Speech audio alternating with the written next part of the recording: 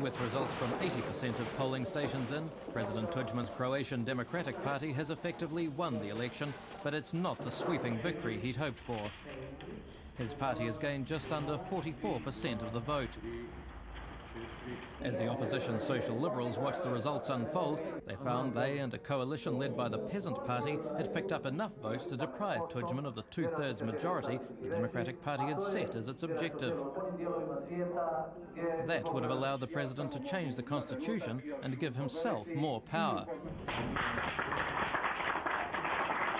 The vote confirmed that Tudjman has far greater personal popularity than his party, and though he said he was happy with the result, his apparently safe gamble of calling a khaki election on the back of military victories has not paid the dividend he'd hoped for.